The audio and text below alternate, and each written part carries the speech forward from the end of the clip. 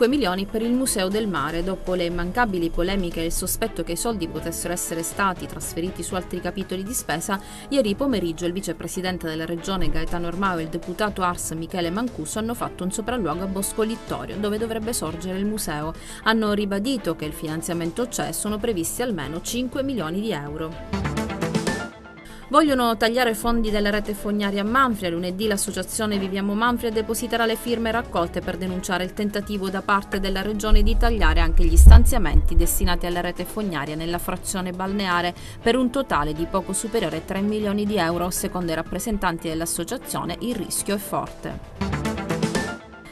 Il comune annuncia tolleranza zero, ma i rifiuti restano. Da un lato l'amministrazione che annuncia ulteriore giro di vite contro chi sporca in città, dall'altro gli incivili che invece continuano indisturbati a gettare l'immondizia ovunque. Ad oggi, infatti, nonostante un chiaro calendario della differenziata, praticamente tutti i quartieri cittadini si trovano sommersi dai rifiuti. Con le nostre telecamere abbiamo provato a fare un giro a campione in tre punti rappresentativi della città che vanno dal centro alle periferie. I risultati sono molto eloquenti. Fiancheggiatori Rinzivillo, anche avvocato a processo, il GUP del Tribunale di Caltanissetta ha rinviato a giudizio l'avvocato quarantenne Grazio Ferrara e il 62enne Emanuele Zuppardo. Sono accusati di essersi messi a disposizione del boss sessantenne Salvatore Rinzivillo, attualmente ristretto al 41 bis. Per un terzo coinvolto gli atti sono stati trasmessi alla Procura di Catania, competente per territorio. La gelese Alice Aldisio, vice coordinatore provinciale di Gioventù Nazionale. Il movimento giovanile di Fratelli d'Italia continua a radicarsi nel territorio. Negli scorsi giorni è stato nominato il vice coordinatore provinciale in provincia di Caltanissetta. Si tratta della giovane dottoressa Alice Aldisio, già militante del movimento giovanile e di Fratelli d'Italia. Il primo obiettivo, dice, sarà quello di far riappassionare i giovani alla politica.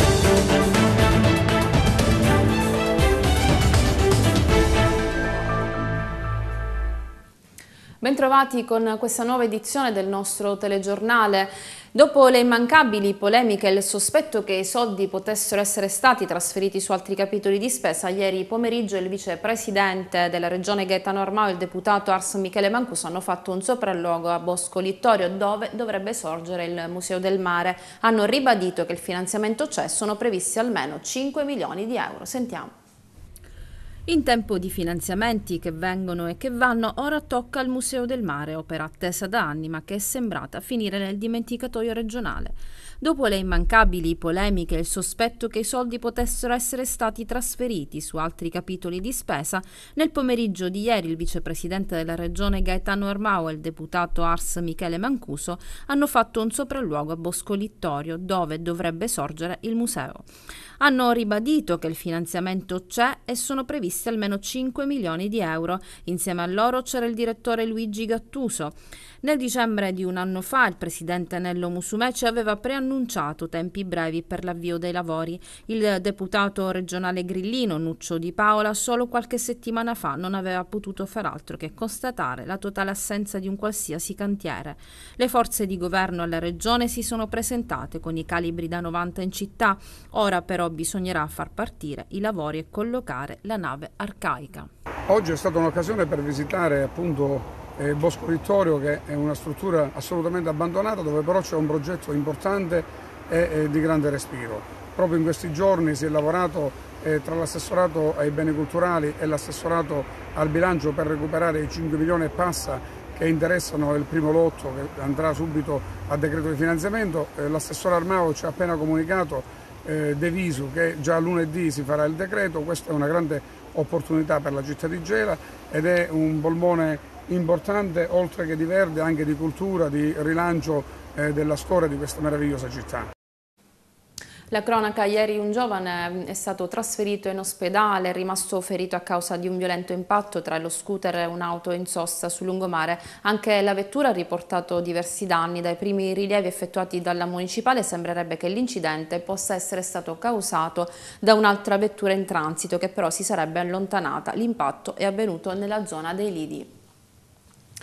Vogliono tagliare i fondi della rete fognaria Manfria. Lunedì l'associazione Viviamo Manfria depositerà le firme raccolte per denunciare il tentativo da parte della Regione di tagliare gli stanziamenti destinati alla rete fognaria nella frazione balneare per un totale di poco superiore ai 3 milioni di euro. Secondo i rappresentanti dell'associazione il rischio è forte. Sentiamo.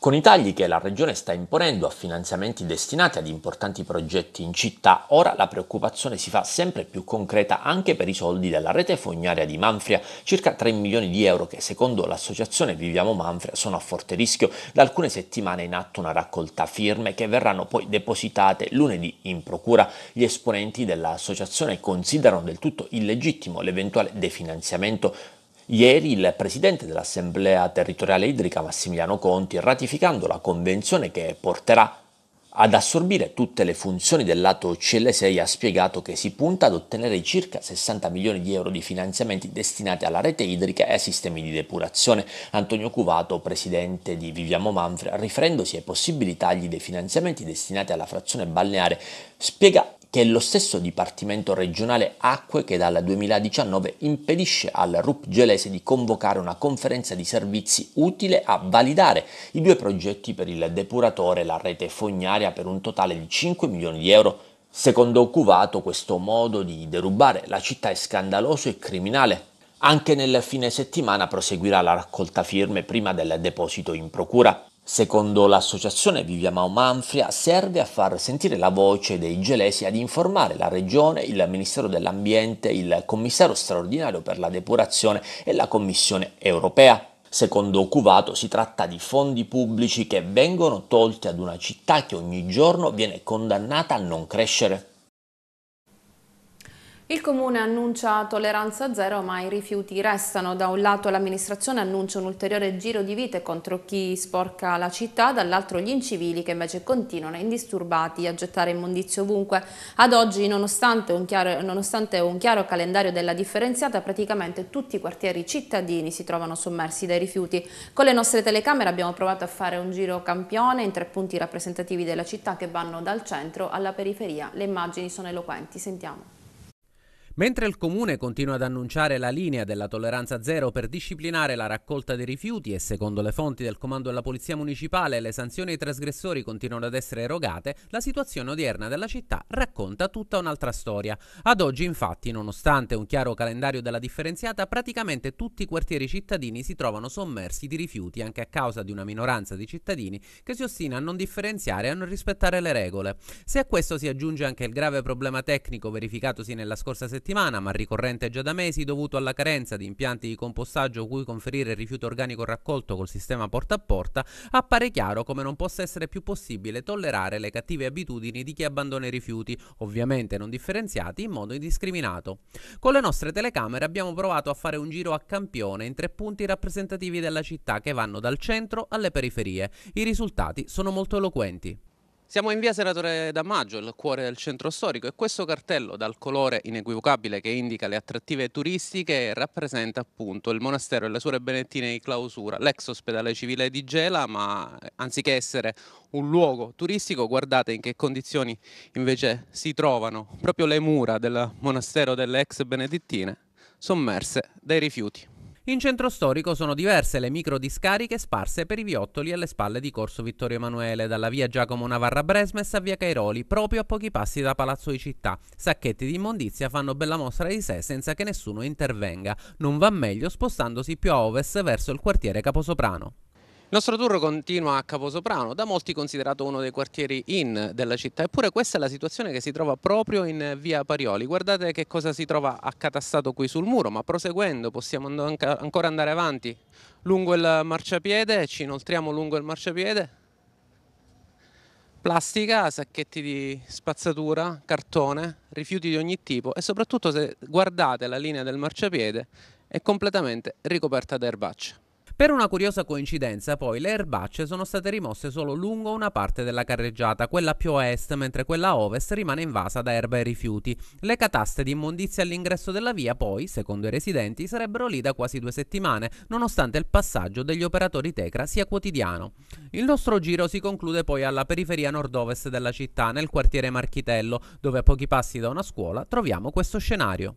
Qui invece siamo alla periferia nord-ovest della città, questa è via Sicani, alle mie spalle vedete l'istituto professionale e poco più in là i palazzetti dello sport. Proprio oltre questa eh, recinzione inizia il mercato settimanale e questi che vedete alle mie spalle sono i rifiuti, la plastica e altro tipo di rifiuti che vengono portati qui dall'avvento, vengono gettati appositamente al termine del mercato settimanale. Rifiuti che si trovano lungo tutta la strada. Uno scenario oggi reso ancora più lunare dal solito incivile che ha pensato bene di far pulizia da sé dando fuoco alla plastica e alle sterpaglie, spargendo in giro fumi tossici e con il serio rischio di dar seguito a un incendio incontrollato. Per evitare tutto questo prova a scendere in campo direttamente la dirigente del settore ambiente e decoro urbano Grazia Cosentino che giorni fa ha invitato la Tecra e la Polizia Municipale ad operare in sinergia, ognuno con le proprie competenze affinché il calendario di esposizione delle frazioni merceologiche sia rigorosamente osservato dai cittadini. La Tecra provvederà alla raccolta solo di quanto previsto dal calendario e i sacchi non conformi saranno etichettati da apposito adesivo con la dicitura non conforme e non ritirati. Il martedì si raccoglierà solo il secco residuale, cioè privo di organico, carta, plastica, vetro e metalli. Per i cumuli si vedrà e con l'estate che avanza le prospettive non sembrano certo delle migliori. E lo ha spiegato più volte anche il sindaco Lucio Greco, la città è sporca e il servizio rifiuti non riesce a soddisfare le attese dell'amministrazione comunale. Sono tante le zone della città che necessiterebbero di interventi capillari, anche in centro storico vengono segnalate situazioni di forte precarietà, rifiuti abbandonati in strada, addirittura anche resti di animali morti si trovano tra le vie della zona. In via Battesimo ci si imbatte rifiuti di ogni tipo abbandonati lungo la strada, non mancano escrementi e scarti, spesso anche l'incuria dei cittadini ha un peso notevole nel rendere ancora più critica la situazione. Residenti e chi quotidianamente opera nella zona denunciano comunque l'assenza di un servizio efficiente. Passiamo alla cronaca giudiziaria, fiancheggiatori Rinzivillo, anche un avvocato a processo. Il GUP del Tribunale di Caltanissetta ha rinviato a giudizio l'avvocato quarantenne Grazio Ferrara e 62enne Emanuele Zuppardo. Sono accusati di essersi messi a disposizione del boss Rinzivillo, attualmente ristretto al 41 bis. Per un terzo coinvolto gli atti sono stati trasmessi alla Procura di Catania, competente per territorio. Sentiamo vanno a processo perché accusati di essere presunti fiancheggiatori del boss sessantenne Salvatore Rinzivillo. Il GUP del Tribunale di Caltanissetta ha disposto il giudizio per l'avvocato quarantenne Grazio Ferrara e per il 62enne Emanuele Zuppardo. Verranno invece trasmessi ai PM della Procura di Catania gli atti che riguardano il 56enne Carmelo Collodoro. Nel suo caso è stata accolta l'eccezione preliminare avanzata dal legale. L'avvocato Francesco Enia è accusato di aver violato la misura di sorveglianza allontanandosi dalla città per partecipare a presunti incontri con pregiudicati ritenuti vicini alle famiglie di mafia.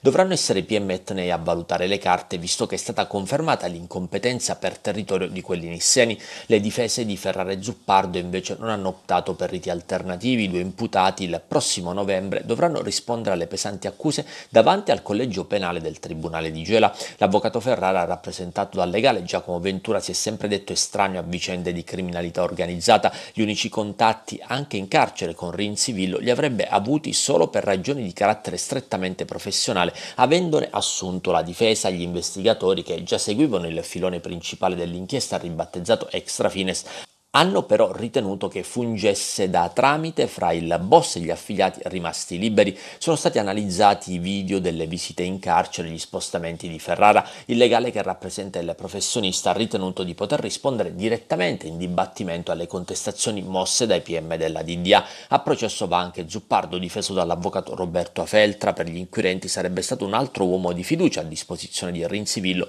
e avrebbe partecipato a riunioni con altri affiliati e possibili nuove leve del del gruppo locale che si rifarebbe alla famiglia di mafia adesso condotta dal sessantenne Salvatore Rinzivillo, a sua volta arrestato Al termine dell'inchiesta madre, Extrafines è già condannato, anche se non in via definitiva. Sia Ferrara che Zuppardo negli scorsi mesi hanno ottenuto misure diverse dalla detenzione in carcere. Dall'indagine sono invece usciti Benedetto Rinzivillo e l'esercente licatese Giuseppe Incorvaia. Non sarebbero stati individuati elementi tali per ritenere che effettivamente avessero messo a disposizione del presunto capo fondi legati alle loro attività commerciali. I giudici del riesame lo scorso anno avevano accolto in pieno i ricorsi delle difese annullando le ordinanze di custodia cautelare come chiesto dai difensori, gli avvocati Giacomo Ventura, Joseph Donegani ed Emanuele Baganuco. Continuano i controlli antidroga in città. Due giorni fa i carabinieri hanno effettuato perquisizioni e sono arrivati nell'abitazione di un giovane con precedenti legati proprio alla droga. Diversi militari sono entrati nell'appartamento alla ricerca di sostanze stupefacenti. Sono stati scoperti solo pochi grammi di marijuana, alcuni semi. Pare che il giovane abbia fornito anche il documento d'acquisto li avrebbe regolarmente ricevuti da un venditore online. Dopo i controlli è stato fermato e portato alla caserma del reparto territoriale di Via Venezia. Dopo qualche ora, davanti ad, es eh, ad, esiti dei controlli che non hanno condotto a sequestri di rilievo, il giovane è stato rimesso in libertà. Da alcune settimane i militari hanno intensificato le attività di contrasto al mercato locale della droga, che non conosce particolari momenti di crisi, con una domanda sempre costante. Nel caso del giovane, che si pensa potesse avere a disposizione quantitativi maggiori, i militari sarebbero intervenuti probabilmente dopo una segnalazione. Gli accertamenti hanno dato esito differente. La gelese Alice Aldisio, vice coordinatore provinciale di Gioventù Nazionale. Il movimento giovanile di Fratelli d'Italia continua a radicarsi nel territorio. Negli scorsi giorni è stato nominato il vice coordinatore provinciale in provincia di Caltanissetta. Si tratta della dottoressa Alice Aldisio, già militante nel movimento giovanile di Fratelli d'Italia. Il primo obiettivo, dice, sarà quello di far riappassionare i giovani alla politica. Sentiamo. Linea verde attivata per Fratelli d'Italia che seguendo quanto sta accadendo su tutto il territorio nazionale riparte dai movimenti giovanili per strutturare la futura classe dirigente del partito. Anche in città intanto sbarca Gioventù Nazionale, il movimento giovanile del partito fondato da Giorgia Meloni che proprio in questi giorni ha eletto i suoi organismi nei territori. E gelese anche il neo vice coordinatore provinciale di Gioventù Nazionale. Si tratta della giovane dottoressa Alice Aldisio, già militante del movimento giovanile di Fratelli d'Italia. La Aldisio punta sin da subito a obiettivo ambizioso, far tornare ai giovani la passione per la politica. L'obiettivo è riuscire a ritornare una, far ritornare una politica giovanile attiva, perché mi rendo conto che qua a Gela i giovani sono disillusi, delusi dalla politica. E il nostro obiettivo è attraverso l'impegno sociale, l'associazionismo, far ricredere di nuovo in una sana politica affinché i giovani si possano di nuovo appassionare, cercando di migliorare il loro presente e naturalmente garantirsi un buon futuro. Ci sono stati già i primi incontri con il gruppo, circa una ventina di ragazzi. Da dove partirete esattamente? Ma noi il nostro impegno è creare dei flash mob, delle, delle, iniziative sociali affinché appunto i giovani si sentano di nuovo parte integrante della città, perché mi rendo conto che molti ragazzi adesso non sanno dove andare, cosa fare, quindi noi il nostro impegno è far appassionare di nuovo questi ragazzi affinché possano veramente impegnarsi per cambiare la loro città e non solo magari lamentarsi che le cose non vanno bene. Qual è la visione che giovani come te hanno dell'attuale politica, sia a livello locale che a livello nazionale? Ma a livello locale siamo un po' disillusi, molto stanchi di false promesse di politici che millantano di essere vicino ai giovani quando invece non è così. Invece il nostro obiettivo, appunto, come dicevo poc'anzi, è cercare invece di cambiare queste cose e far cambiare proprio da noi. A livello nazionale, ma io essendo in Gioventù Nazionale e quindi in Fratelli d'Italia credo molto in Giorgia Meloni, al cambiamento, al potere femminile e a un futuro veramente che si sia un, più roseo per tutti. L'hai detto poco fa tu, i giovani sono disillusi dalla politica, si allontanano dalla politica, è difficile parlare ai giovani di politica, come si riavvicinano i giovani alla politica? Parlando di politica giovanile, non eh, cercando di dire che noi vogliamo cambiare Gela, cercare il porto, cambiare eh, qualcosa che non compete a noi, non, non, alla politica giovanile, cercare invece di creare quei gruppi affinché di nuovo ci sia cultura, eh, sport, associazionismo e che i ragazzi possano veramente fare qualcosa per cambiare. Io ad esempio vedo molti muri imbrattati e non curati, ci sono molti artisti invece che avrebbero um, una felicità felicità immensa per poter abbellire la nostra città. È Salvatore Scognamiglio il nuovo presidente della Croce Azzurra, associazione accreditata presso l'ASP di Caltanissette. È stato eletto durante l'assemblea dei soci chiamati a rinnovare il direttivo e l'organigramma. Entra a far parte dell'organigramma anche Carlo Varchi, nominato direttore sanitario. I 35 componenti dell'assemblea generale hanno voluto confermare altre cariche direttive che si compongono di Giampaolo Di Benedetto, coordinatore volontari, Maria Grazia Di Benedetto, responsabile amministrativo, Antonino Eterno, direttore amministrativo, Linda Nicastro, nostro vicepresidente è appunto Carlo Varchi, direttore sanitario, specializzato anche in management e direzione sanitaria che durante la pandemia da Covid-19 ha avviato un servizio di teleassistenza gratuito offrendo supporto psicologico ai cittadini. Rifiuti Acqua Piero Bon è pronto a visitare la città. Ieri il sindaco Lucio Greco a Catania ha avuto un lungo confronto con l'assessore regionale all'energia Alberto Piero Bon. Sono stati toccati diversi punti delicati dalla vicenda idrica al servizio rifiuti nel limbo di una gara non ancora assegnata. L'assessore centrista della giunta Musumeci ha preannunciato una visita in città. Sentiamo.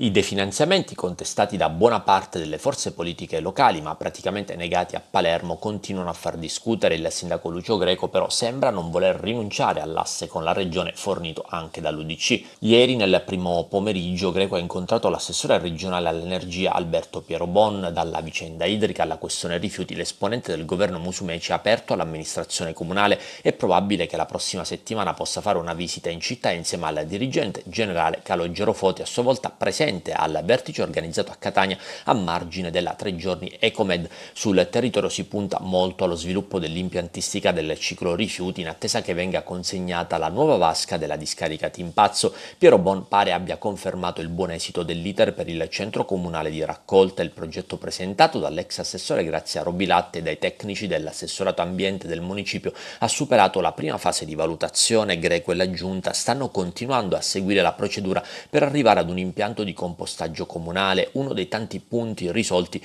rimane però quello del servizio idrico, mentre Greco e Piero Bon si incontravano a Catania nella sede nissena del libero consorzio il presidente Ati Massimiliano Conti ha annunciato la firma della convenzione con l'Ato per il definitivo passaggio delle funzioni. Il servizio in città segna il passo e probabilmente Piero Bon vuole verificare anche questo aspetto, nonostante una crisi idrica che è costante da anni a suon di bollette decisamente salate.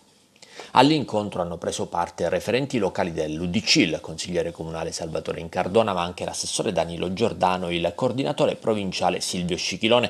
Non mancavano il dirigente comunale Grazia Cosentino e il consulente di Greco, l'ingegnere Pietro Inferrera. Piero Bona ha preso nota in attesa che qualcosa si sblocchi al di là della continua emergenza. Omaggio a Rosa Balestrieri, la rassegna promossa dall'Associazione Amici della Musica ha convinto anche per la suggestiva location. Il maestro Crocifisso Ragona è riuscito ad esaltare il piazzale interno del plesso della Santa, Santa Maria di Gesù, sede naturale della stagione estiva musicale. Sentiamo. Le mura ferediciane, l'edificio di epoca fascista del presso Santa Maria di Gesù, nel salotto della città, si sono rivelati palcoscenico ideale per ospitare i concerti della stagione estiva della musica colta, rassegna voluta dal maestro crocifisso Ragona. Ieri sera ad animare il suggestivo angolo della città è stato il duo musicale Strania, composto dalla cantante e chitarrista Enza Strazzulla e dal chitarrista Gianni Nicosia sulle note dei brani di Rosa Balestrieri. Un nome è quello dell'artista ricatese, capace di richiamare un pubblico esigente e rispettoso ai versi di denuncia per un riscatto della Sicilia. Mafia e Barrina che si stringono la mano è solo uno dei brani simbolo inseriti nella scaletta musicale. La mafia e i Barrini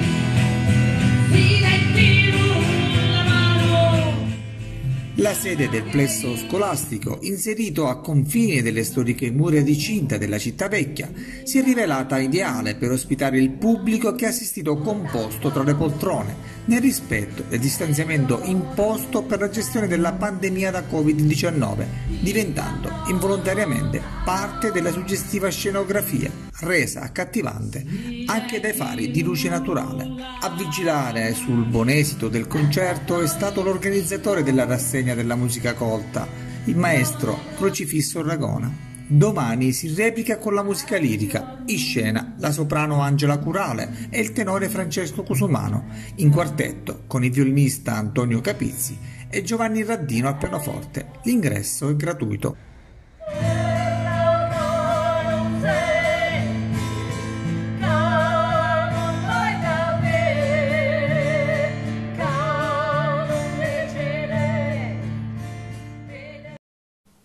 È tutto, il nostro telegiornale termina qui, per tutti gli altri approfondimenti vi rimandiamo al quotidiano di gela.it, grazie per averci seguito.